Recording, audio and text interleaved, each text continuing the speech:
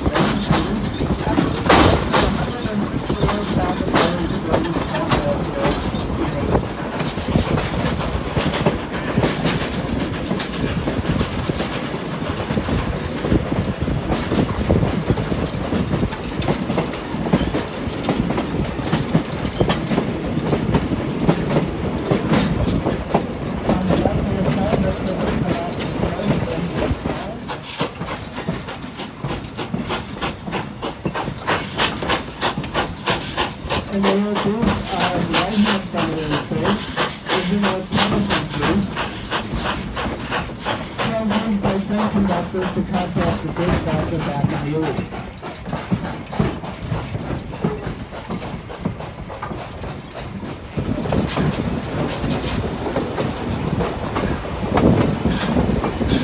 Thank